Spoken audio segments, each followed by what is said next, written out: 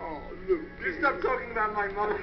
She must have brought you up so well. She died so young, Lukey boy. I'll kill you!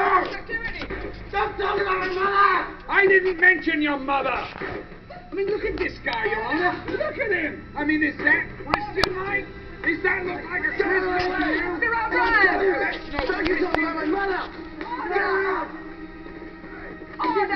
I didn't mention his mother. Mr. That's no a Mr. O'Brien! You lose it again in my court and I'll have you held in contempt. Get off me! Get off me!